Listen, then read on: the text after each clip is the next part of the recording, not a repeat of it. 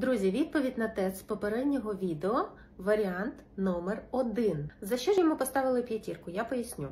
Перше, це абсолютно академічна, класична подача матеріалів у просторі. Це ідеальна передача гіпсової голови на темному фоні у просторі. Друге, це практично фотографічна передача об'єму і якості фактури матеріалу гіпсової голови, а також простору, що її оточує. Третє. Якісно художньо розставлені акценти. Четверте, неймовірно красивий штрих. Річ у тім, що е, та м'якість переходів е, графічних, яку багато з вас читали як затертість або тушовку, не є не затертістю, ні тушовкою.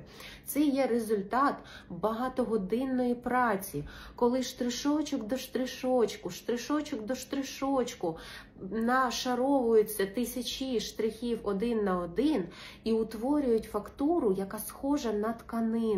Фактура, що схожа на е, тонкий шовк, але це на папері, і це зроблено за рахунок е, штриховки тоненьким, ідеально вистроганим олівчиком. Це просто збожеволіти можна від такої краси. Про правильну побудову і правильну перспективу навіть не буду говорити, тому що на такому високому рівні малювання ці е, питання вважаються за замовченням вирішеними. Для того щоб малювати так, потрібно вчитися не один, не два і навіть не три роки. І це дійсно взірець, до якого потрібно тягнутися, коли ви хочете опанувати академічний стиль, і якщо ви хочете представляти академічну школу.